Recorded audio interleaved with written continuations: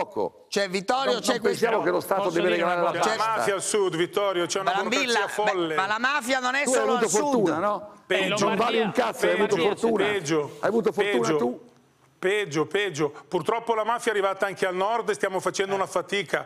La Lombardia è stata venduta all'andrangheta, abbiamo Appunto, continuamente indagini che dicono che ci sono gli andranghettisti qua che rompono i coglioni, questa è la verità. Però un po' di anticorpi qui ce li abbiamo ancora, giù al sud non puoi difenderti. No, Non vabbè, no. No, non lo può dire però, eh. L'ha No, detto- Brambilla, l'ha detto, eh detto eh no. Sangalli, l'ha detto Sangalli. Non l'ho detto io, eh, non l'ho detto io, non l'ho detto Ma non si può dire una cosa del genere, Eh, condanna un popolo. Ma scusi, condanna milioni di persone. Aspetta Gianlusso, devo andare in pubblicità.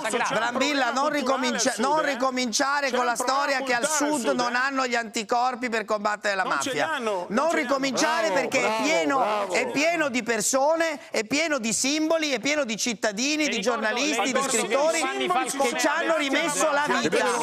bravi, bravissimi. Anche il giudice, fermi, fermi tutti, fermi tutti, fermi tutti. Giù, giù, giù lo studio, giù lo studio. Dopo torniamo. No, non, dire, non dire così perché ti posso fare l'elenco di donne, uomini, eh, giornalisti, ma non solo, che al sud eh, hanno combattuto e combattono ogni giorno la mafia. Quindi non parlare di anticorpi perché è una stupidaggine. E su questo penso che anche Vittorio mi possa dare ragione, perché eh, è, è- così. Bravo, bravo Parenzo. Difendi il meridione.